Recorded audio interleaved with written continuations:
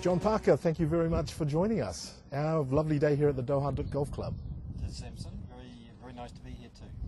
So, John Parker, tell us a bit about what you're doing in the Middle East and what opportunities you see for business people here in Qatar and places in the region. We've got a sports education concept that we want to try and involve uh, Qatarians in, and we are looking to spread that around as many countries as we can.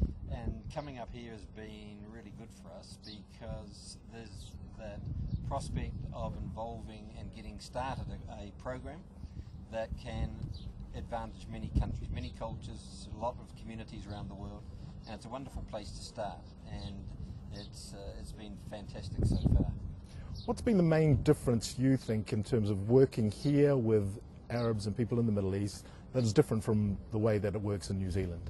I think one of the best things about working up here is having local New Zealanders here to facilitate, coordinate, and manage the whole process. Very difficult to work from long distance, but it's wonderful having people that know what you're trying to achieve on the ground here. So that's been a big plus. Of course, that would be a great help anywhere, to be fair, but it's been a great help here. So it's uh, it's a long process, but it's a worthwhile process.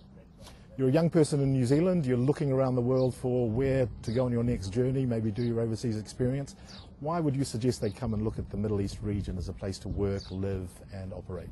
Well, it's a growing region that looks to the rest of the world as well, I think, and that's one of the key factors. That if you can establish yourself here and you've got big dreams, this is a wonderful place to start. Get an idea of different cultures, how it functions, what you've got to do, how you've got to adapt your product to different societies, different cultures. This is a wonderful place to start. John, thank you very much for your time.